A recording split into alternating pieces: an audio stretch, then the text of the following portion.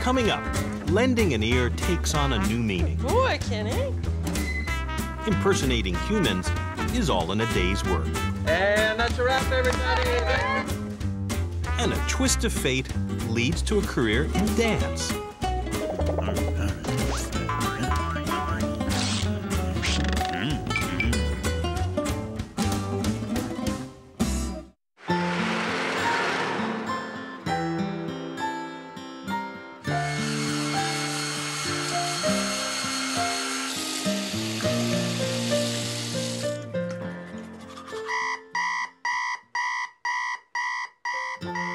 Lisa Brown has been profoundly deaf since she was 16. Six months ago, her life changed when she got Kenny, a trained hearing dog. Good boy. Before I had Kenny, I burned quite a great deal of food. So now Kenny will paw me and lead me to the stove when something is ready. Lisa is an expert lip reader, but her family doesn't alert her to sounds. That's Kenny's job. Boy. There you go, Kenny. My mom sets the timer for everything that she does now. So if the timer goes off and something's in the oven, I can't tell my mom that the timer's going off and I can't run and get it. My mom has to do that with Kenny's help.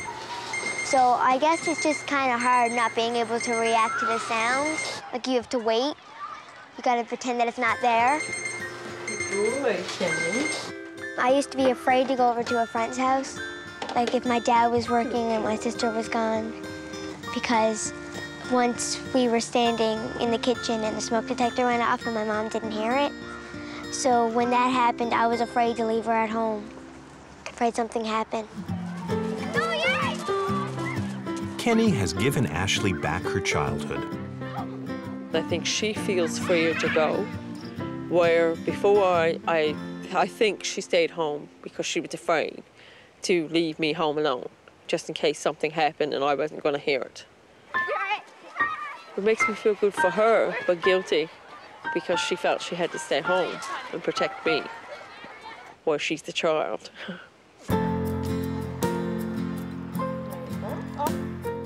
When Lisa puts Kenny's halter on, it tells him he's going out in public. Okay, ready? Let's go. I think he gets excited because he, he likes to be out. He likes to be working out, especially. As, as soon as his orange coat goes on, he gets really excited. His tail wags. Lisa volunteers at Ashley's school library.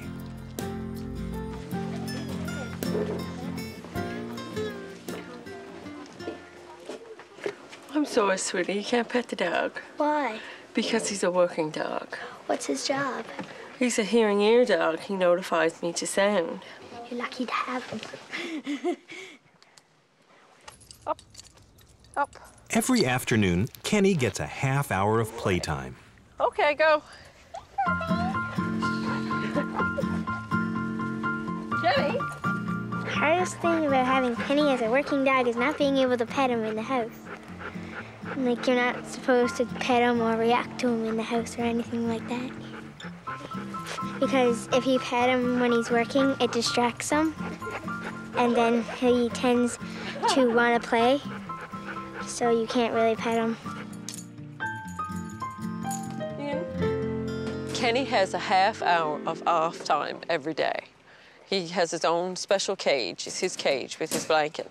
He just goes in and lies down and I close the cage door and he knows when he's in the cage that he doesn't have to alert me for anything or anybody. It's just, it's his time off. It's his time to relax.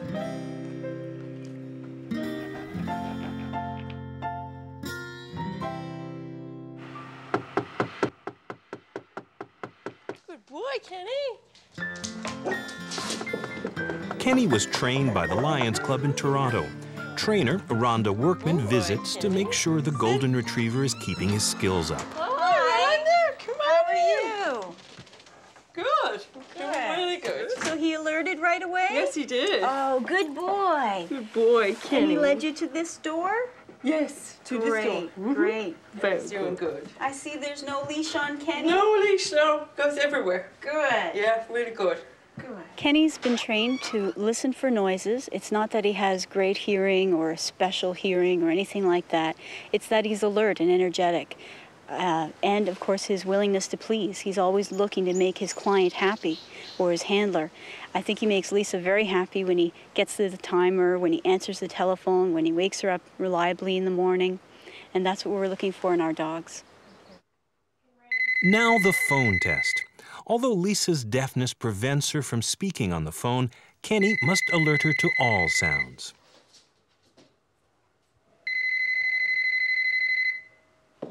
Good boy, Kenny. A trip to the mall will allow Kenny to show Rhonda how well he does his job in public. Good boy, Kenny.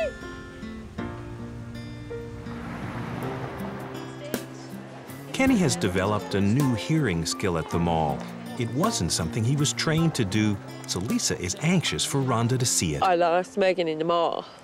She got away from me, and it just so happened that I found her. But by the time I found her, she was crying.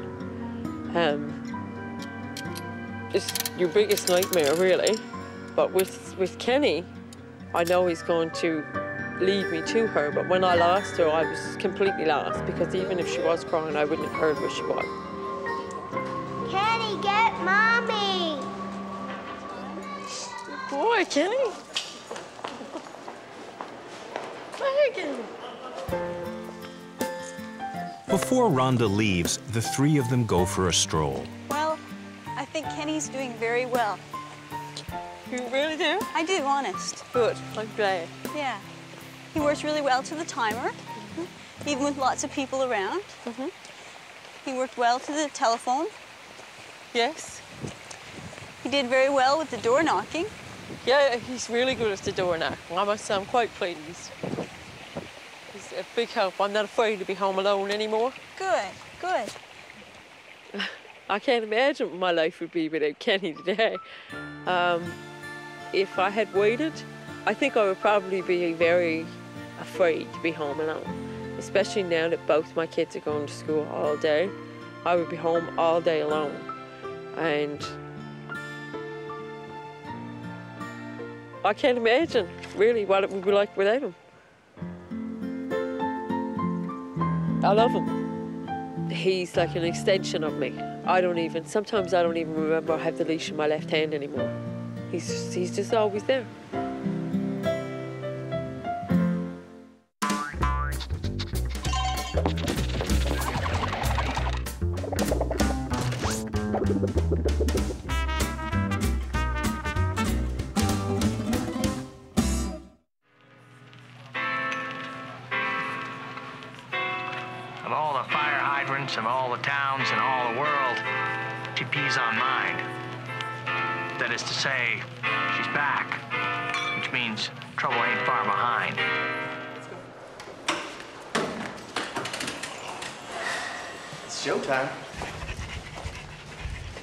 Daisy co hosts the TV show Pet Project with her owner, Kevin Frank. Come on, Daisy. Her work has been nominated for a Gemini Award. She's been featured on magazine covers, and she appeared on Open Mike with Mike Bullard. Please welcome Kevin Frank and Daisy.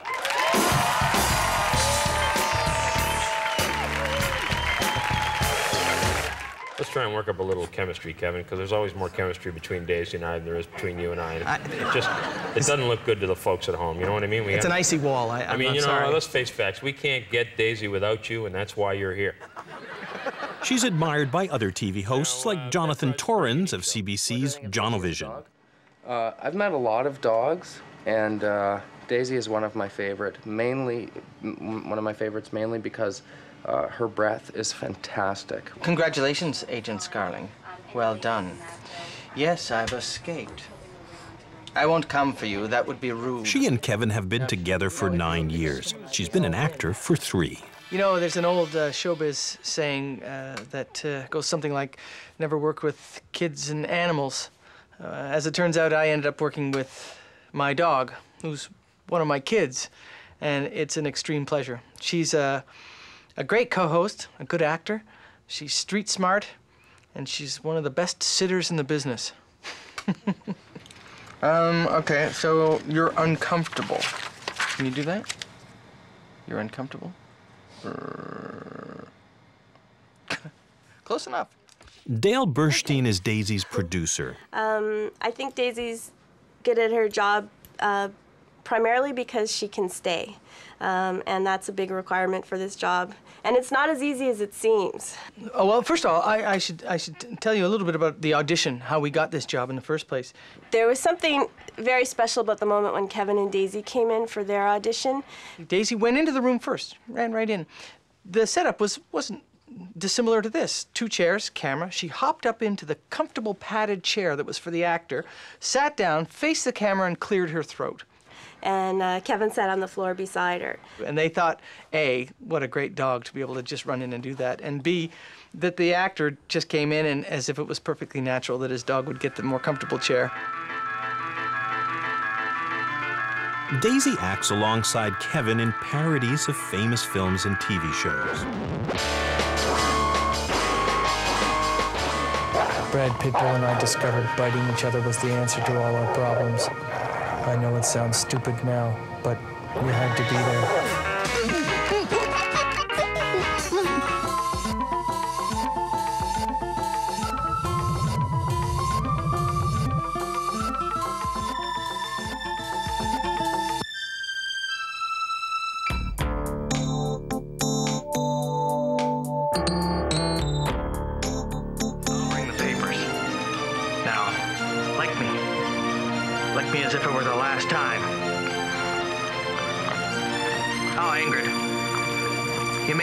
Make me feel so feral. Casablanca, I think, is maybe Daisy's most romantic role. Daisy's assistant, Andrea Stevenson. Just beautiful. Her eyes were glistening in it. The jewelry is glistening on her. She had great close-ups. It was excellent. You and that Spaslow guy are together. But he's your owner now. Don't try to make excuses. Nothing you bark can make things right between us. She played Ingrid Bergman, and uh, she had that same look in her eyes. Watery. I think it was all the smoke.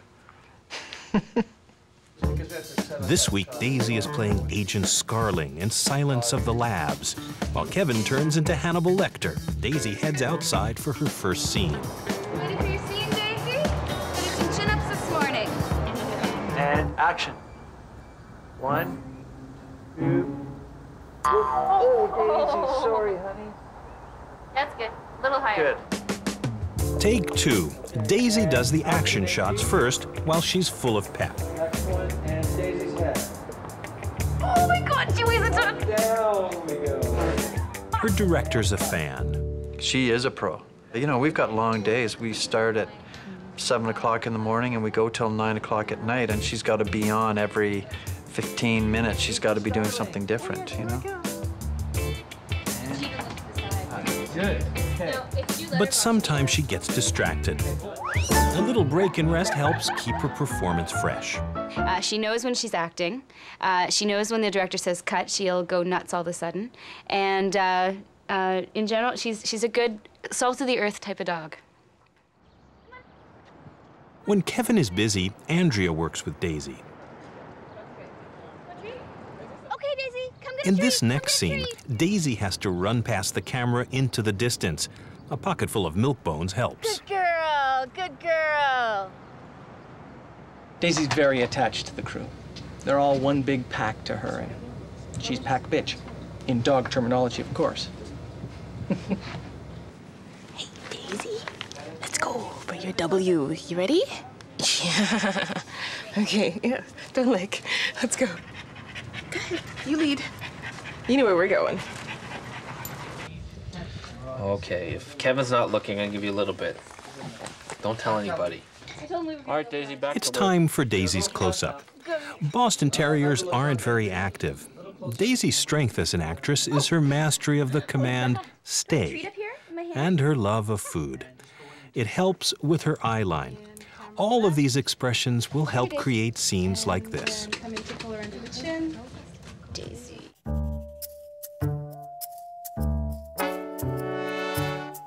Hello, Agent Scarling.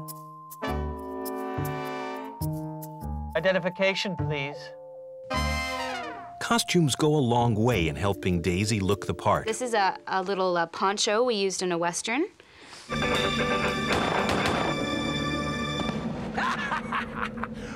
we did X-Files spoof last year, and she played Agent Scully, and she wore this. And I'd know.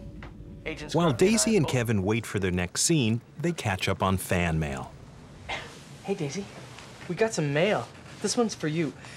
Dearest Daisy, from the first moment I saw you, I knew you were the one for me. They are the ultimate pet and pet owner. Uh, they're crazy about each other, and and Daisy will do anything for him, and I think Kevin would do anything for her. It's been a long 10-hour day, and this is Daisy's final scene. Don't touch the glass. Don't go near the glass. Don't press your tail against the glass. Whatever you do, don't lick the glass. You're gonna see and hear some ugly things in there. Nana ugly.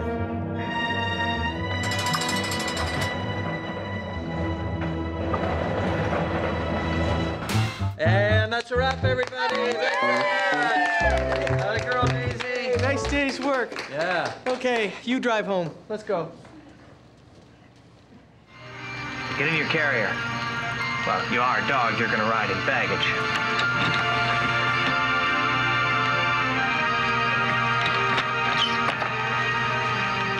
Here's looking at you, pup.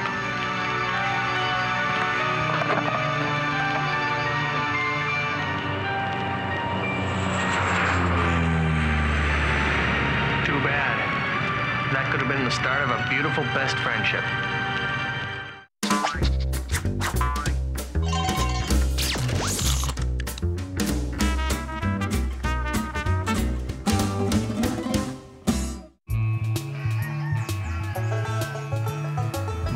Collies have been bred for centuries to herd sheep, but thousands of these dogs live hours from the nearest flock. With no white, woolly creatures to boss around, what's a smart, ambitious Border Collie to do? Aw. Aw. Dance! Aw, Good man. Duncan loves music and has from the time he was little. We do show tunes. We do things like um, our very the very first song we ever performed to was the overture from Phantom of the Opera. The first time Jan Mayer saw a dog perform freestyle, she was hooked. I didn't even know anything about freestyle. And there was a girl there who did it with a Rottweiler. She did um, Bette Midler's Wind Beneath My Wings. And how you could ever think a Rottweiler could be elegant, you know, but it was the most elegant, moving thing I'd ever seen in my life. I said to my husband, I want to do that. Dancing is more than a hobby for Duncan. It helped him turn his life around. Three years ago, Duncan was an obedience champion with a promising career when an accident almost killed him. they were out in the yard playing and he threw a tennis ball for him and he heard him scream and he went down and he didn't get back up again. When I came home, I came home to a husband sitting on the living room floor with a paralyzed dog. And we didn't know what was wrong. Duncan had a blood clot in his spinal cord. The nerves were permanently damaged. In the very first few days, we actually considered putting him down because he was just so crippled up from what was going on, and that was very difficult. It was a long struggle um, because we basically had to teach him how to walk again. And he really tried, and he really worked his little heart out for us when it came to doing physical therapy and, and, and the work that we had to do with him. He was real determined, and he would do anything in the world to please me. Easy. We also did some weave pole work from agility.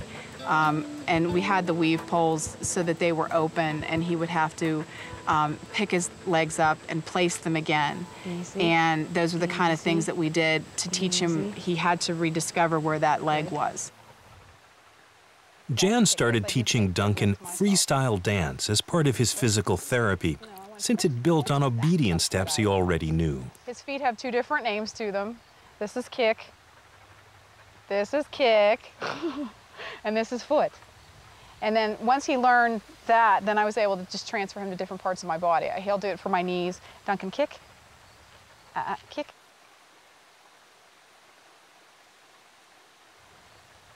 He'll do it to my feet. Good boy. Kick.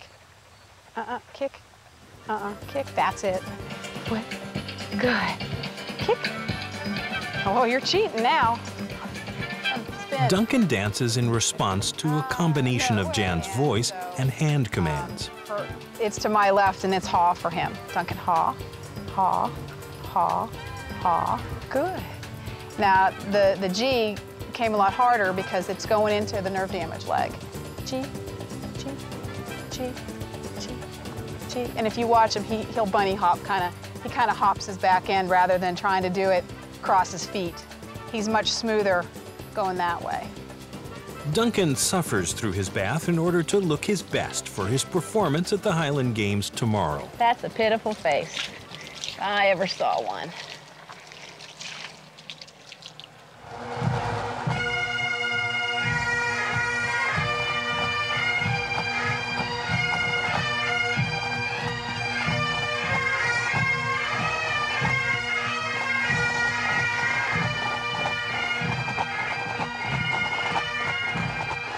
Highlight of the games is Duncan and Jan's dance.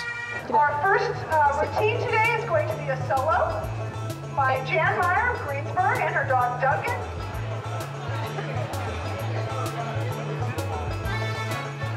it's very easy to um, to lose yourself in freestyle. And when you go on the floor, it's just you and the dog.